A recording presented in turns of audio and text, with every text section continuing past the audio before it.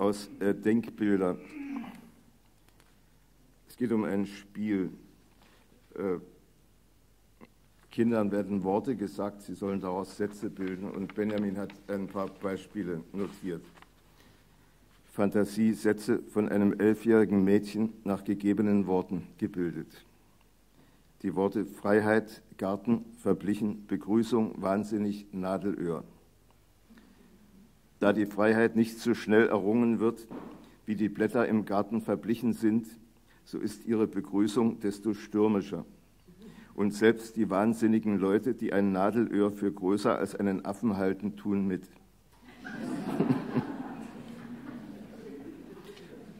Die zweite Beispiel, die Wörter Tischtuch, Himmel, Kopfkissen, Erdteil, Ewigkeit. Der Tisch vor ihm war mit einem Tischtuch bedeckt und unter freiem Himmel. Er lag auf dem Kopfkissen in dem weltentfernten Erdteil und schlief, als wollte er in Ewigkeit nicht mehr wach werden. Die Wörter Lippen, biegsam, Würfel, Seil, Zitrone. Ihre Lippen waren so rosig wie die biegsamen Rosen, wenn man sie angesteckt hat beim Spielen mit den Würfeln oder beim Seilziehen. Aber ihr Blick war bitter wie die Schale der Zitrone.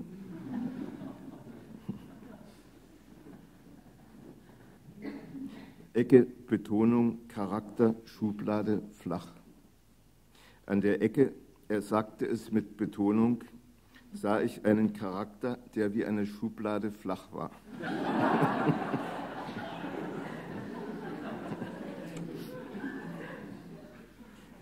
Rohr, Grenze, Beute, belebt, mager. Das Rohr an der Grenze war ein Ort für Räuber. Hierher brachten sie ihre Beute, da der Weg nicht belebt war. Beim Mondlicht erschienen die Gestalten mager. Brezel, Feder, Pause, Klage, Firlefanz. Die Zeit schwingt sich wie eine Brezel durch die Natur.